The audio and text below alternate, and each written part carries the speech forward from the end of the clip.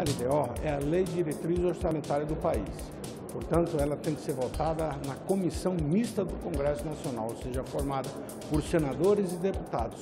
E é essa lei que vai nortear para que a mesma comissão possa formar o orçamento, votar o orçamento e, finalmente, no plenário do Congresso Nacional, termos a peça orçamentária eh, sendo votada, de acordo com a orientação que a Lei Diretriz Orçamentária definiu antes. Por isso, sempre é bom que se tenha com bastante antecedência a votação da LDO para que depois vote o orçamento.